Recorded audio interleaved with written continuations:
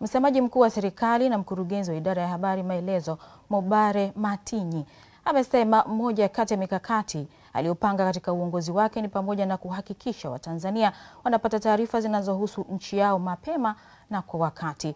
Matinyi amesema hayo jijini Dar es Salaam katika hafla ya kutoa tuzo kwa waandishi wa shindano la uandishi wa mitandaoni wenye kuleta tija, yani Stories of Change kwa mwaka 2023 lililoandaliwa na Jamii Forum. Tupate taarifa zaidi.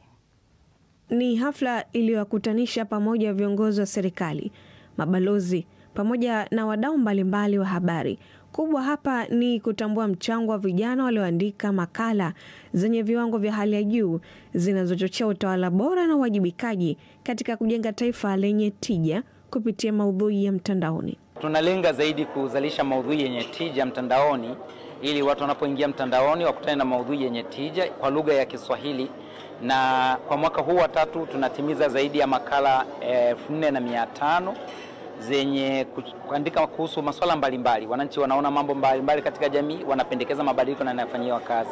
Suala la utoaji wa taarifa kwa wananchi kwa wakati nalo sitizwa hapa. Tuna tatizo la wananchi wetu kuto kupata taarifa na halikuanza leo. Kwa hiyo moja ya mambo nataka kuyafanya katika nafasi yangu ya mkurugenzi wa idara ya habari Maelezo na papo hapo msemaji mkuu wa serikali ni kujaribu kutafuta utatuzi wa hili tatizo.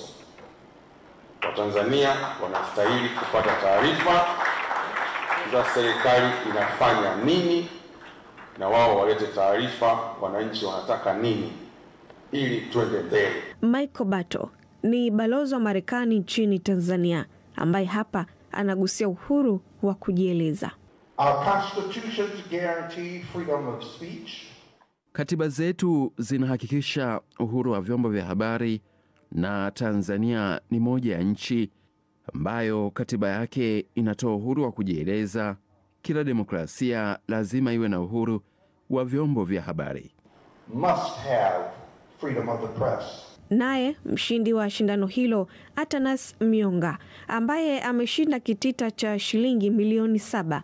Anaeleza namna alivyopata ushindi huo. TRA huwa wanatangaza kwamba wana, wanazidi ku, wanakusanya kodi imepitiliza, yani wamezidi hata ule uwezo wa kukusanya, yaani lengo lao lilikuwa kukusanya labda kiasi fulani, wamepitiliza lengo, lakini kwa watafiti tunaona kabisa kwamba hapana yaani kuna upungufu pale, kwa sababu viwango vya kimataifa vinasema kama mnataka kuwa bora ni lazima mfikie asilimia 15 ya uwiano wa taksi ambayo ni kodi na pato la taifa. Huu ni msimu wa tatu wa shindano la Stories of Change la mwaka 2023 linaloendeshwa na Jamii Forum, ambapo msimu wa kwanza ulikuwa mwaka 2021 na, na msimu wa pili ulikuwa mwaka 2022.